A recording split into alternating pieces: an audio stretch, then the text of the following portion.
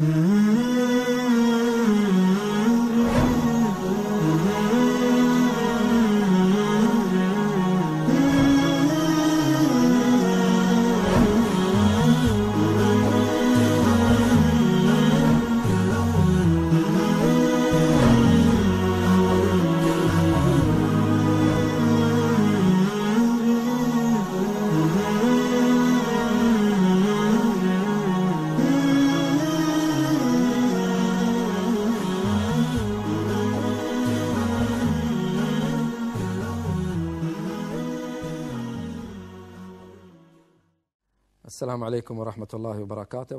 Приветствую вас во второй раз с новой темой и с новой информацией. Сейчас мы поговорим, и это вторая часть нашей передачи, о винограде. Мы уже рассказали о гранате и о том, чем он так важен, как он помогает против анемии, против диареи и является антибактериальным и антивирусным средством, и как он может радовать человека своим видом и вкусом. Сейчас мы поговорим о винограде. Виноград — это, субханаллах, чудесный фрукт. Все его любят. Мы можем есть виноград почти весь год. И это милость Аллаха, свят он велик. То есть виноград у нас есть свой и импортный. Его выращивают в Бахрейне и привозят из-за границы. И это милость Всевышнего Аллаха. Внешний вид винограда также привносит радость в душу. Мы упомянем то, что в Великом Коране говорится о винограде. Аллах, свят Он велик, несколько раз упомянул в Коране виноград. И, как я говорил, во всем, о чем упомянул Аллах, содержится великая важность как для Дуни, так и для Ахирата. Аллах, свят Он велик, сказал, Он тот, кто не спасал с неба воду.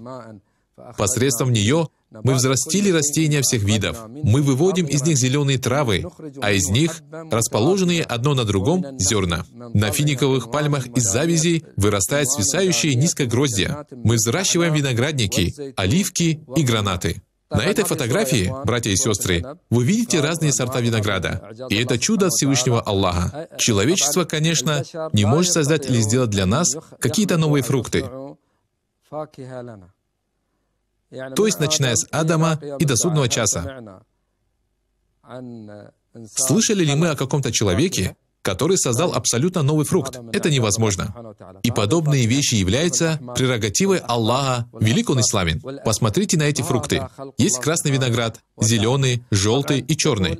Таково творение Аллаха, велик он и славен. Аллах также говорит в суре Ан-Нахль, «Из плодов финиковых пальм и виноградников вы получаете опьяняющий напиток и добрый удел». Воистину в этом знамение для людей, размышляющих для людей размышляющих, то есть для тех, кто размышляет и задумывается. Это творение Аллаха, свят Он велик. Этот виноград, оливки, гранаты, финиковые пальмы, все они являются великими знамениями, которые создал Всевышний Аллах. Мы проходим мимо них днем и ночью. Разве мы не должны задуматься о том, кто создал все это? Разве мы не должны размышлять, кто это сотворил? Причист Он, и он Аль-Алиюль Азим, высокий, великий. Итак, виноград — это фрукт, один из королей всех фруктов.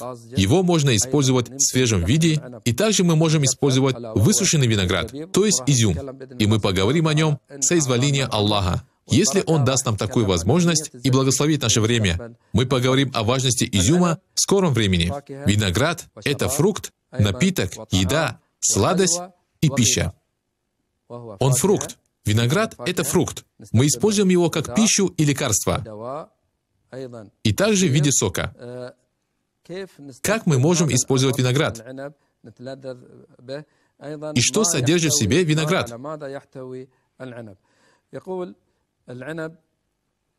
Виноград полезен при лечении заболеваний легких и дыхательных путей. На самом деле, он растворяет мокроту, флегму. Он рассеивает слизь и выводит ее через мочу и кал. Также он полезен при лихорадке и жаре.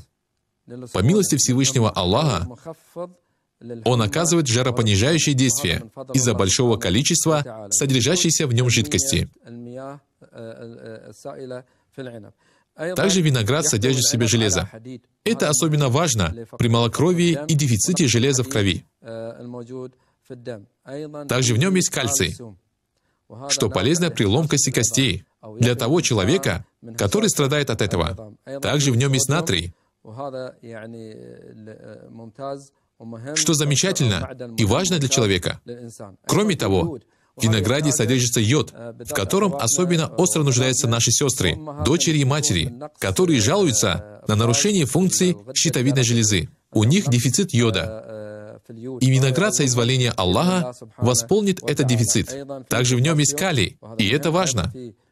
Далее фосфор, что полезно для нервов и мозга укрепляет клетки мозга и защищает память от старческого слабоумия и склероза. Также виноград полезен для печени и при проблемах печени. Он убивает бактерии и вирусы, находящиеся в крови, и укрепляет кровообращение.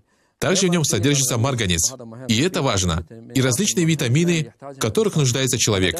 Я всегда обращаю особое внимание на детей, сосредотачиваю на них внимание, чтобы наше следующее поколение было сильным, чтобы оно стало поколением, не нуждающимся в искусственных пищевых добавках. Если с раннего детства и до подросткового или юношеского возраста ребенок будет есть гранаты и виноград, пить чай с имбирем или просто имбирные напитки, то все это и так является пищевыми добавками, и ему не нужны будут искусственные пищевые добавки, от которых могут возникнуть побочные эффекты.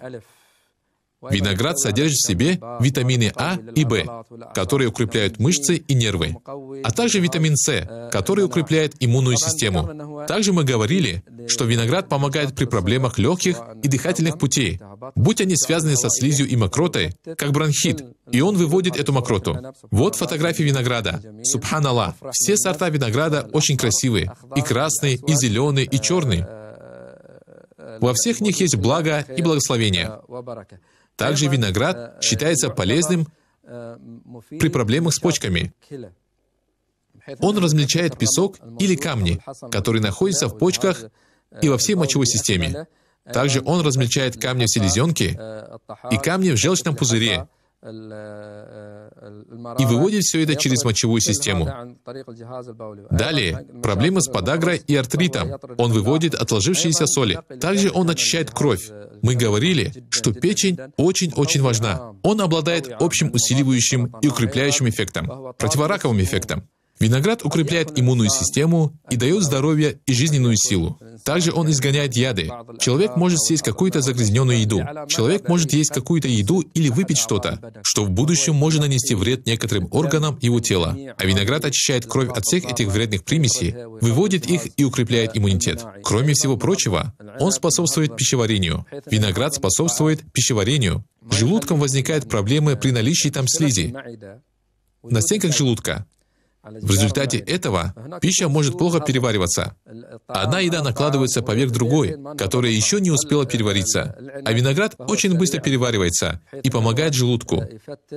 Или он убирает слизь, которая находится в груди.